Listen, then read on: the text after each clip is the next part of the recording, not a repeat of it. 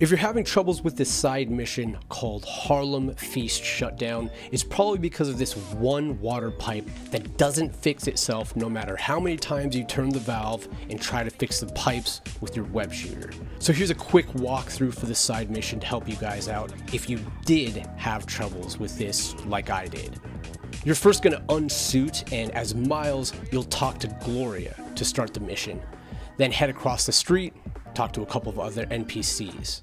And after that, you're gonna head back to Gloria. Just keep walking down this hall. It's gonna lead to a door where you're gonna head upstairs where you can go ahead and change into your suit.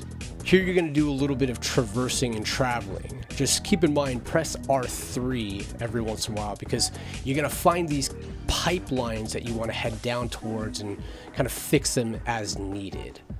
The second line is going to take you to a small gang of enemies, and after taking them out, you'll face the meat of this side mission. Now this wasn't the most intuitive to me and I've noticed there's a couple of places in the game that does this. So if you guys throw me a comment, let me know which areas are confusing, I'll probably make a video by your request. There are three valves that you need to get to. One that's behind a garbage can,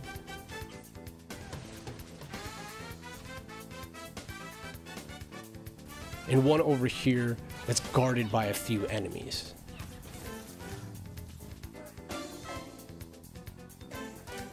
It's this valve that gives players trouble.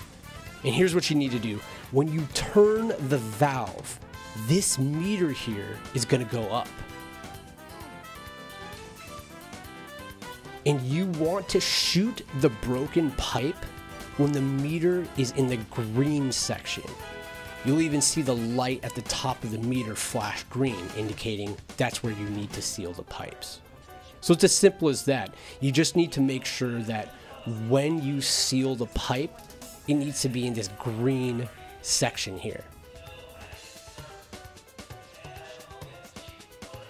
After that, you'll head to one last enemy group, take them out, head back to Gloria, and complete the quest.